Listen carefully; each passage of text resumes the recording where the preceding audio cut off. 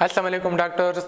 Today our topic of discussion is all about the opioid drugs. So it is a short video regarding with the opioid drugs, clinical uses and side effects of the opioid drugs as it is very important regarding with the competitive exam and you need to remember it uh, clearly. Now let's talk about the clinical uses of the opioid drug for a single and a single glance. So for this we are having a trick that is a, B, C and D where every single alphabets will indicate the one of the use of opioid drug where A stand for the analgesic.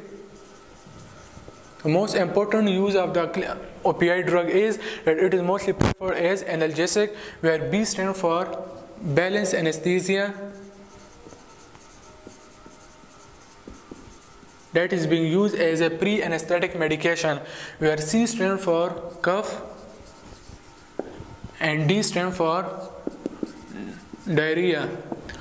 Now it is worth noting what is the clinical uses of opioid drugs. So there are a lot of clinical uses of the opioid drug but some of the uses of the opioid drugs are which is very important and you need to know that is it is being preferred as an analgesic that is balance anesthesia that is cough and that is diarrhea.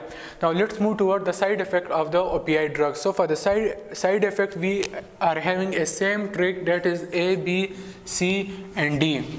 Now we are a stand for allergy and apnea. So the most important side effect of the opioid drug is that it may cause allergy and apnea that is shortness of the breathing and it cause BP decrease also it cause blurring of vision. So opioid drug may cause decrease the BP also it lead to blurring of vision where C stand for constipation and if someone chronically used opioid drug so it may lead to the tolerance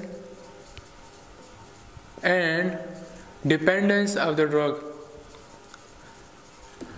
So where D stand for dysphoria